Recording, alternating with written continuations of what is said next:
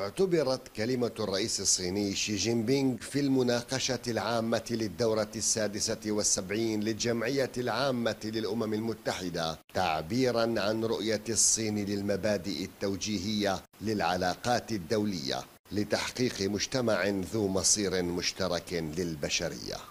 السياسة الخارجية الصينية تؤمن أن أن كل ما على هذه الكرة الأرضية هو ذو مصير مشترك.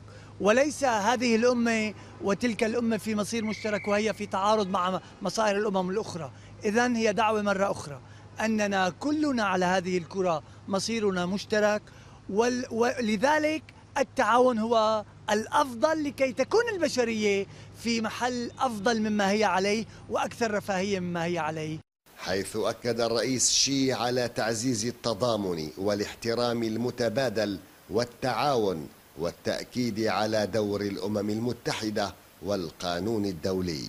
تكلم عن مسألة مهمة. أولا ضرورة احترام قواعد القانون الدولي وأنه يجب أن نعيد الهيبة إلى إلى الأمم المتحدة ودور الأمم المتحدة في نزع فتيل الأزمات في العالم. وبالتالي أن مجلس الأمن والأمم المتحدة هي المكان اللازم لتطبيق قواعد القانون الدولي من أجل إيجاد حلول كما حث الرئيس شي على تعزيز السلام والتنمية والعدالة لمواجهة التحديات التي تواجه العالم متحدثا عما قدمته الصين من دعم دولي لمواجهة وباء كورونا.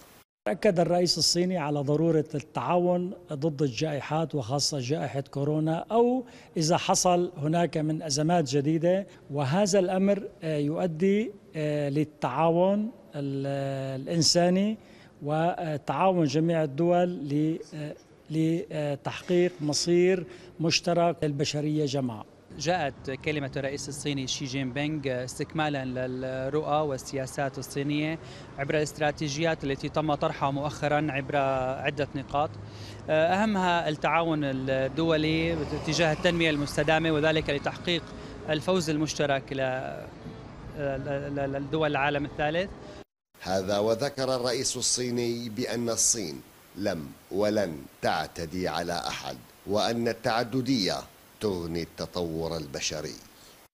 أشاد مراقبون سوريون من كافة المستويات بكلام الرئيس الصيني شي جين بينغ في جمعية العامة للأمم المتحدة التي أكد فيها على الدور الصيني الداعم لكل أشكال التعاون الدولي في سبيل إيجاد الحلول ومواجهة التحديات القادمة تأكيدا على بناء المجتمع في المصير المشترك للبشرية.